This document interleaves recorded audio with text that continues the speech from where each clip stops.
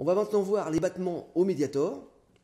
On va commencer par les battements en croche. Alors, croche c'est quoi? C'est lorsqu'on descend le médiator sur les cordes, c'est le temps.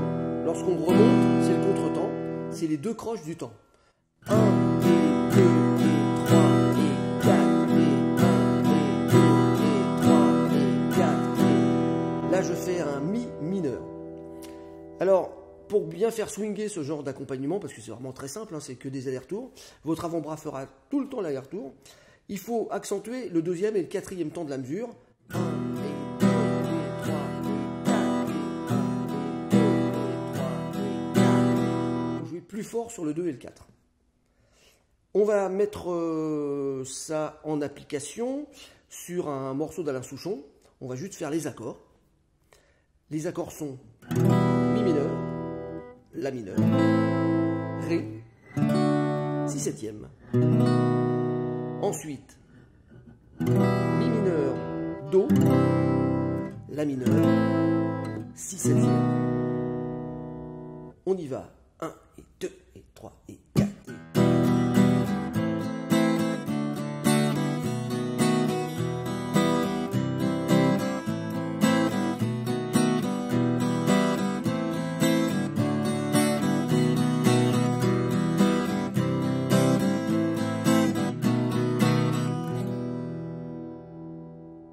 Voilà, il suffit de faire tourner ça en boucle et vous avez les couplets de la chanson. Le refrain, c'est juste de faire l'inverse, c'est-à-dire Mi mineur, Do, La mineur, Si septième, et ensuite Mi mineur, La mineur, Ré, Si septième. Voici maintenant un deuxième exercice où on bat toutes les croches et il faut bien sûr accentuer les deuxièmes et quatrième temps de la mesure. Alors on va commencer par un Sol. Ensuite, un Do ad 9. Ensuite, un Mi mineur 7. Et ensuite, un Ré.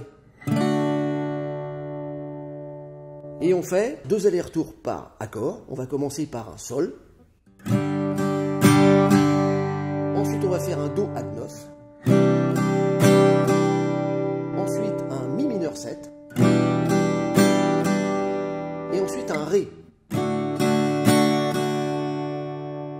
Toujours accentuer le deuxième aller-retour hein, sur chaque accord. 1 et 2 et 3 et 4 et...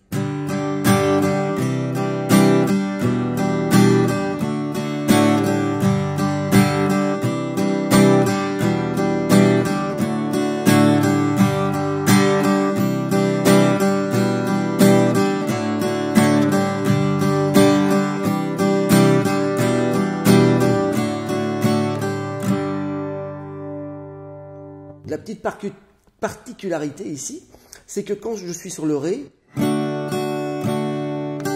le dernier retour, je rajoute mon auriculaire pour commencer à faire l'accord suivant. Ça me laisse comme ça plus de place pour placer l'accord.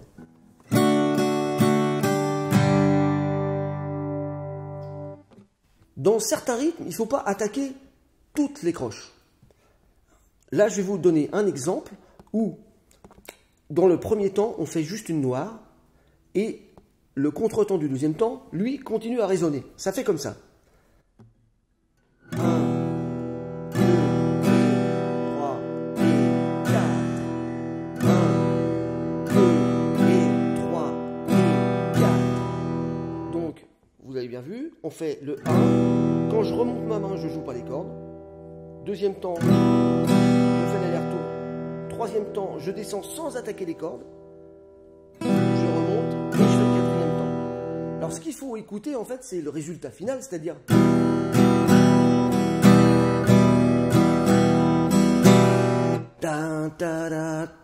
C'est ça qui est important quand on fait le rythme. C'est le pattern rythmique qu'il faut avoir dans la tête, dans son entier. On va faire mineur, Do, Sol et Ré. Et on va faire un pattern rythmique par accord. 1, 2, 3,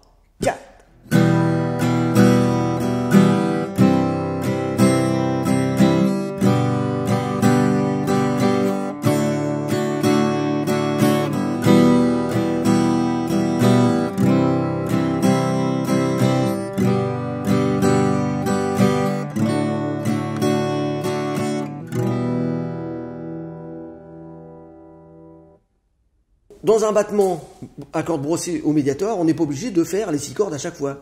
Hein, donc là, je vais vous montrer un exemple où le premier, le premier aller-retour, on va le faire plutôt dans les cordes médium graves. Et le deuxième aller-retour sur les aigus.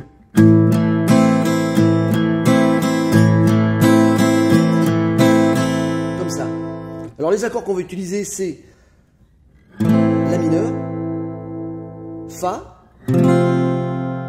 Alors le Fa, plutôt que de faire le barré complet, en général, je fais un, un accord réduit, on va appeler ça comme ça, un Fa réduit, qu'on peut jouer sur les quatre premières cordes ou les cinq premières cordes, comme ça.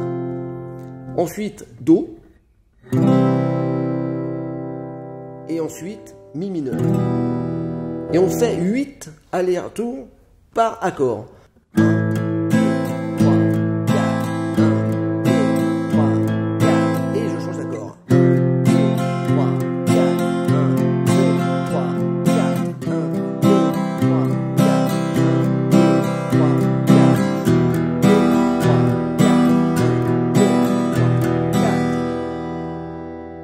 Il faudra jouer ça quand même légèrement plus vite. Et euh, ça sert de base à un morceau de Amy McDonald qui s'appelle This is the Life.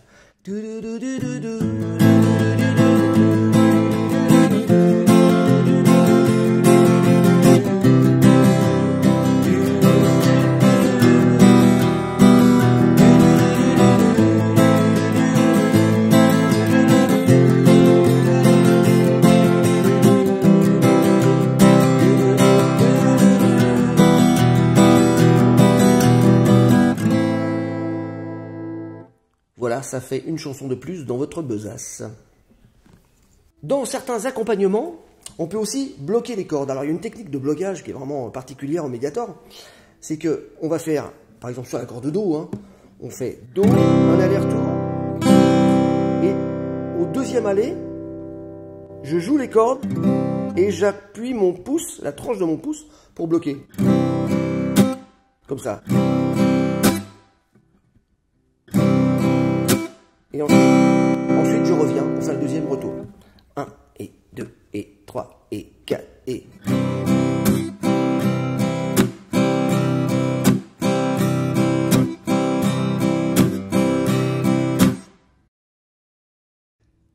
En même temps que je bloque avec mon pouce, je relâche la pression des cordes sur l'accord, de manière à être vraiment sûr que tout s'arrête de sonner.